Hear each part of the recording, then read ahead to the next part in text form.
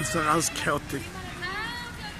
This is one of the um, Bauhaus houses of Rothschild Avenue, um, Rothschild 117, and uh, it's beautiful to see it. Part of one of the festivals, and don't ask me about what because it's too difficult for me if it's here uh, when we're reaching to the high tech and all that stuff. I'm just a tour guide. Uh, it's beautiful.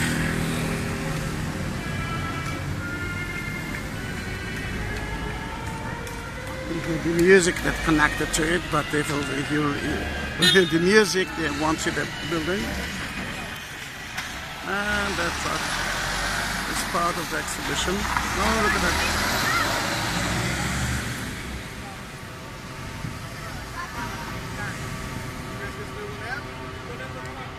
Cardiac music.